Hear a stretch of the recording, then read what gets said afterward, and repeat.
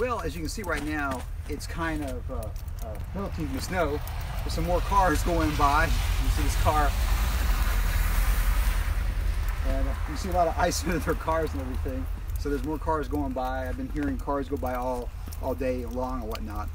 And uh, it's melting right now. It's kind of interesting. There's a car up there trying to get up the get the hill right now. Hopefully they can hopefully they, they can make that happen. And uh, so let's see here. They're trying to get up that hill. So, you know, if you got a big old 4x4 truck, probably can work if you got a regular car without snow tires. Grip's what's the most important thing, of course, uh, when you're trying to make this thing happen. So, yeah, I am uh, trying out this new device also that supposedly follows me around a little bit.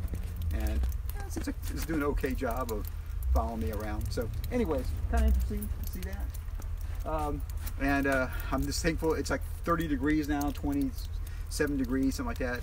29 degrees, something like that. So it's a lot warmer than one degrees like it was this morning.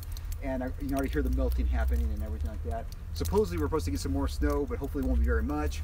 Hopefully the um, the roads will will, will unfreeze, and uh, we're off from school till Monday, so we got the rest of the week to get defrost. Thank you so much, and as always, rock and roll, of course, it does compute. If you like this type of amazing content, please subscribe to my YouTube channel because that would totally compute.